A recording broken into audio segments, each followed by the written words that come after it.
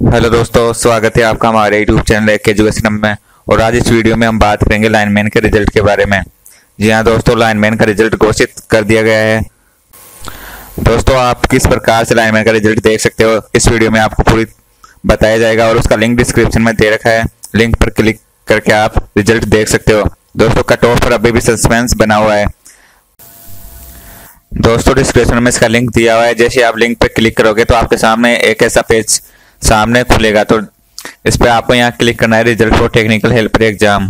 तो दोस्तों, आप जैसे इस पर क्लिक करोगे तो यहाँ आपको तीन ऑप्शन दिखेंगे साइड में। तो यहाँ आप marks of technical helper online test यहाँ क्लिक कीजिए।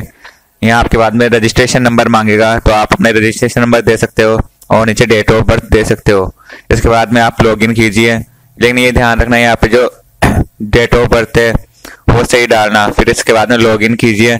लॉगिन करने के बाद में जैसे ही लॉगिन करते हो, यहाँ आपके नंबर शो कर देगा।